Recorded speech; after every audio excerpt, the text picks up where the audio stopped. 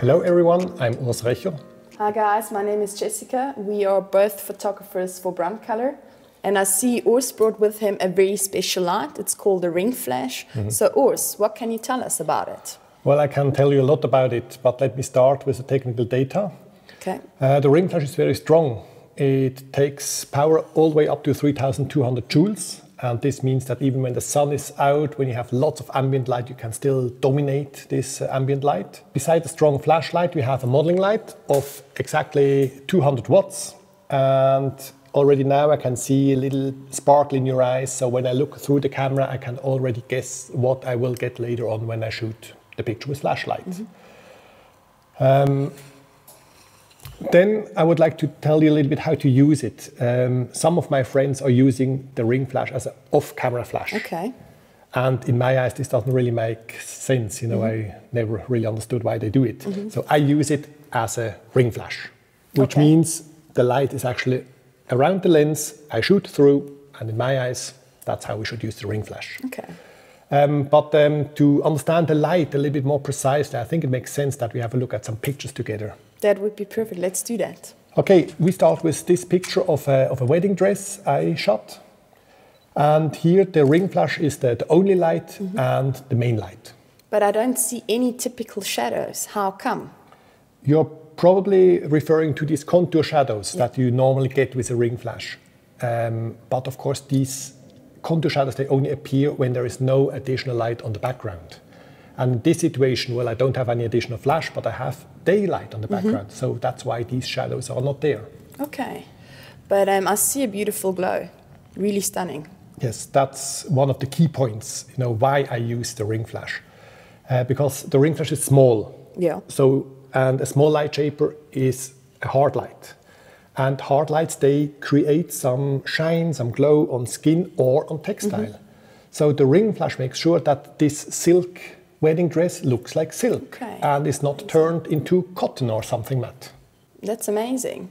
But now, for example, if I want to have a fashion shoot mm -hmm. and I don't want shiny skin, yes, that glow, how can I prevent that? Is there another option I can use with a ring flash?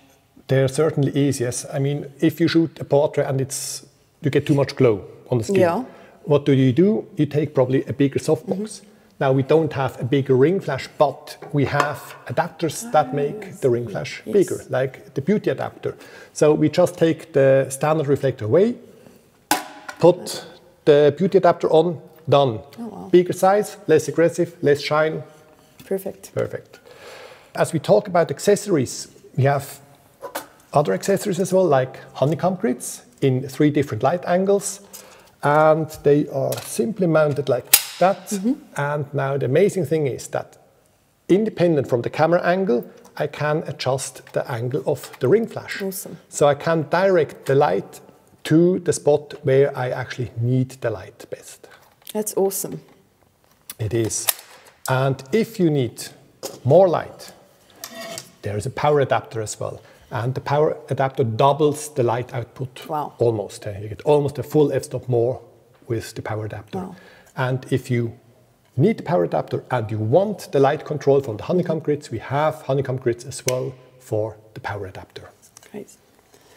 But now as well, do you only use your ring flash as a main light or could you use it somehow mm. differently?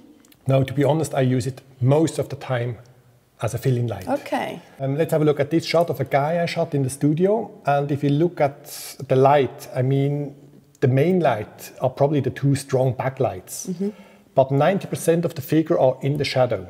Mm -hmm. And so let's say this turns my fill-in light uh, almost to the most important light in my shot. So I have to make sure that my fill-in light does not create any additional shadows on the model, even when he has some arms or hands or jewelry, whatever, in front of the body. And the ring flash is doing exactly this for me because the light is coming from so close to the lens that it infiltrates everything. Nothing remains in the dark. Everything gets a little bit of light and exactly the amount of light I want.